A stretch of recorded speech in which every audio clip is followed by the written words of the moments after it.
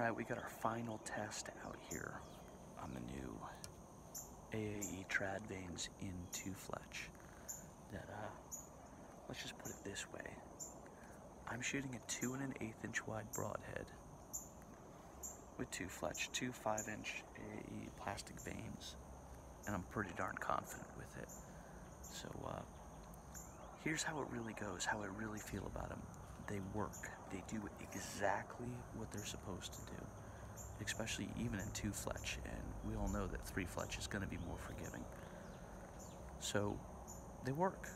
The only thing I don't like about them is they get this waviness.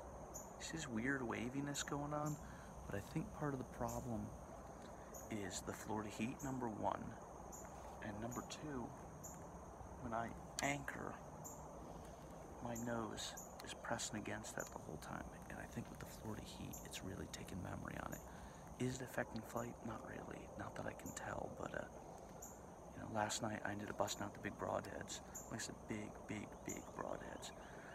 And uh, I was shooting 25 yards and still grouping, I don't know, three inch groups or so. Every once in a while I'd hit one far right, but that's me. That's, that's me not expanding through my shot. So they work, guys. Um, here's the main question. Am I switching to vanes full time? No. I don't know. I just, I like, I like feather. But here in Florida, you damn right I'm to have two of these in my quiver no matter what. I mean, they're always to be in there. What happens when I go out in the woods and it rains on the way out to my set and then it clears? Like, I'm like, oh, I gotta go home. My feathers got wet.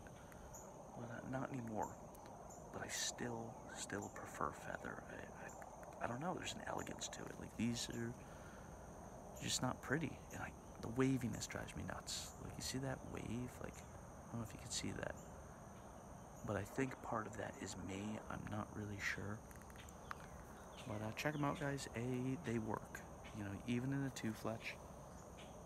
Um, they're a hair they're a little less forgiving. You know, if I, if I have a poor release or a string pluck or something like that, you know, we did a lot of slow motion testing.